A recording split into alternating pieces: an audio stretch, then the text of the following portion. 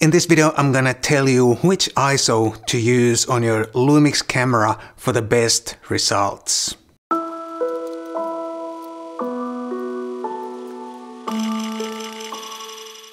Hi guys, my name is Matti Sulanto. I'm a photographer and a Lumix ambassador. And in this video, I'm gonna tell you which ISO to use on your Lumix camera for the best results. As you probably know, you have three ways to control the exposure on your camera. You have your aperture and your shutter speed. And uh, with those two, you can control the actual amount of light that enters the camera. Then you have the ISO control that you can also use to adjust the exposure or the brightness of the picture. But the ISO does not control the amount of light that enters the camera. The ISO only amplifies the signal that comes from the sensor after the picture has already been taken. So the ISO does not change the sensitivity of the sensor or uh, it does not um, change the amount of light that enters the camera.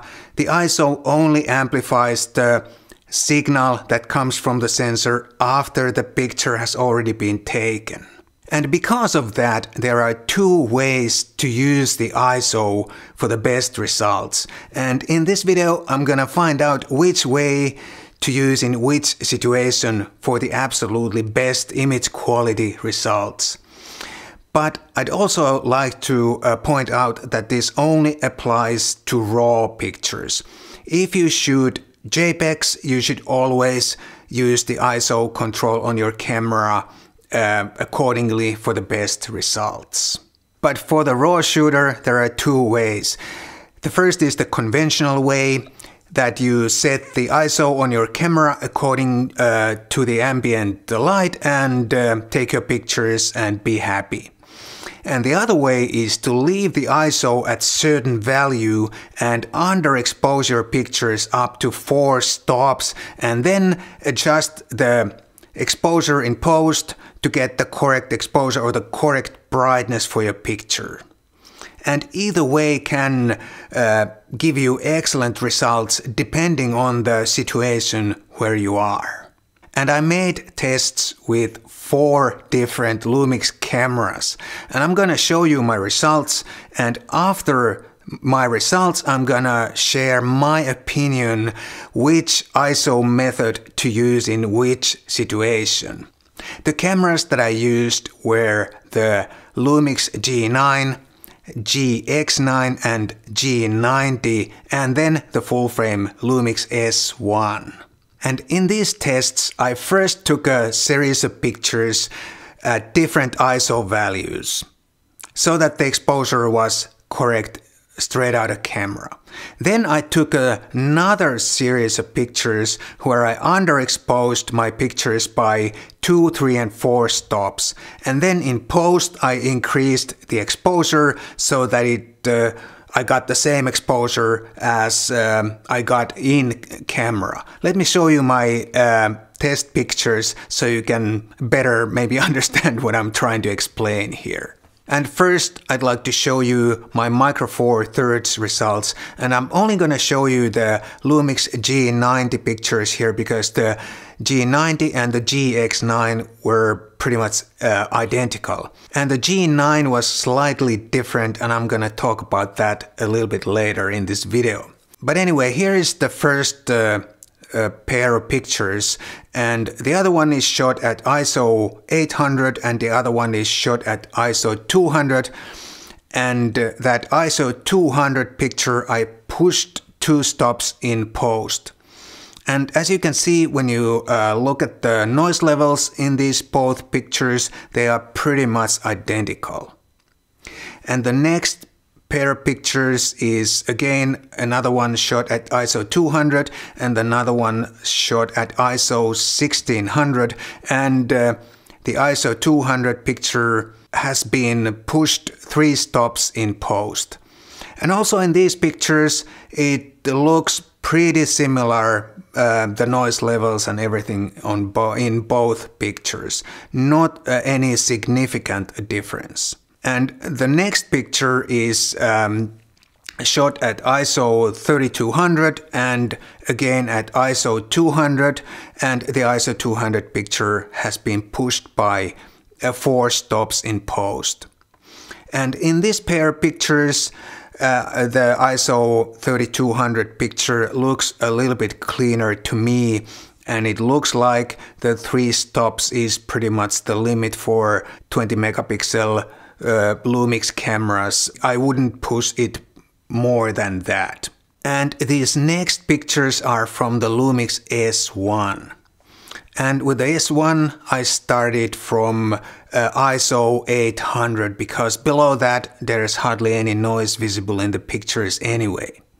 And this, in this first pair of pictures, the other one is shot at ISO 3200 and the other one at uh, ISO 800 and that picture I pushed uh, uh, two stops in post. And as you can see, uh, the noise levels look pretty much identical in both pictures.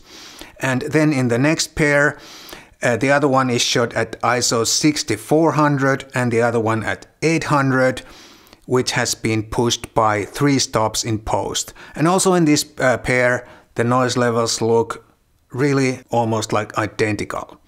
And in the next pair of pictures, the other one is shot at ISO 12800 and the other one at ISO 800 and uh, pushed uh, four stops in post. And also in this picture, I think the results are pretty much identical. I can't see any significant difference. But I notice that the highlight roll-off is slightly better looking in those pictures that I shot at lower ISO and pushed in post.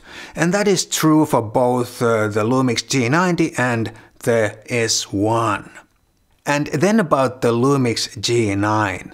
And I have heard that the Lumix G9 pictures can suffer from magenta color cast if you push the exposure a lot.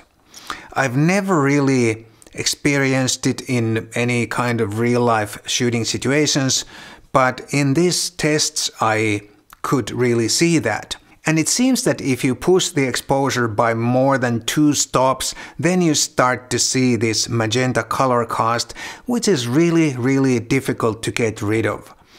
I don't think it's a big real world problem uh, because I think it's relatively easy to get the exposure within that you know two stop tolerance. But i would not recommend you to push uh, lumix g9 raw pictures uh, in post uh, by more than two stops. And I find it really interesting that those two other 20 megapixel Micro Four Thirds cameras that I also tested here, they don't seem to suffer from that same magenta color cast even if I push their raw exposures or raw files in post by four stops.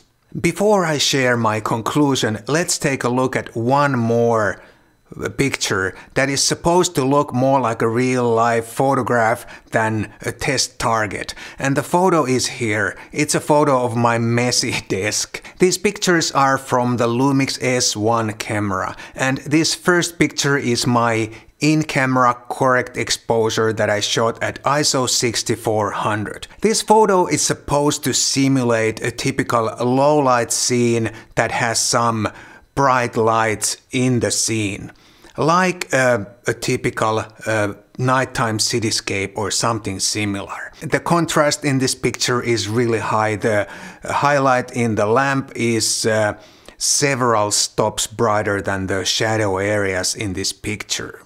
And of course, in this kind of situation, the correct exposure is always some kind of a compromise. And here I wanted to do it like this, so that I can at least have some sort of shadow detail in my picture. But if I'd like to also show some highlight detail, it's not possible in this particular exposure because the highlights are way too overexposed and I can't uh, do anything about it. No matter how much I pull back the exposure, there's no detail visible in the highlights. And here is my other exposure that I made at ISO 800. All the other exposure values are the same.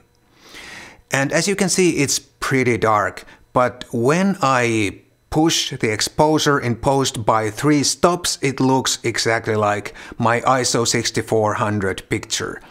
But in this picture I can pull back the highlights and I can even read the numbers on the inside of the small lamp on the table. And I think the overall tonality in this picture is much nicer than in the first picture. And someone is going to ask, why did you use such a high ISO value for a scene like that? And my answer is I needed f11 for the depth of field and I needed 1 40th of a second not to get excessive motion blur if some moving thing uh, would happen to enter my scene when I take the picture. But if you have a tripod and you don't mind about some motion blur or even a lot of motion blur, then of course a lower ISO value would do just fine. And now my final conclusion on this one. And remember, this is only my opinion, not a universal fact by no means. And my recommendation is, not surprisingly, that you should always select the lowest possible ISO for the situation. But if you, for whatever reason, need higher ISO values, use the ISO control on your camera and try to get your exposure approximately right in camera. I think it's easier that way because then you can see what you get and it's easier to work like that, in my opinion. However, if you have a really high contrast scene and you absolutely have to uh, preserve all the highlight details, then by all means expose for the highlights and let the rest of the scene go as dark as it goes and then fix it in post. You will get some shadow noise in your picture, but then again you will preserve all the, those highlight details. Modern cameras are quite good and flexible when it comes to the sensor performance and raw file flexibility. But sometimes you just have to sacrifice either shadow or highlight detail uh, if you want to capture your picture in one shot. You can of course use HDR and other tricks, but if that is not possible, then you just have to make uh, a choice between uh, shadow or highlight in some situations. And if your camera was not included in this video, please experiment and do your own test. It's fairly simple to do the basic underexposure test and see how your camera performs. And I would also like to hear your opinion on this.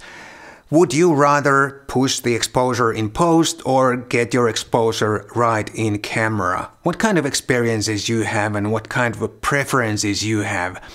Please leave a comment down below and let me know. And if you like my content and like this channel, please remember to subscribe and hit the bell right there so you'll get a notification every time I post new content. Thank you so much for watching and I'll see you in the next video.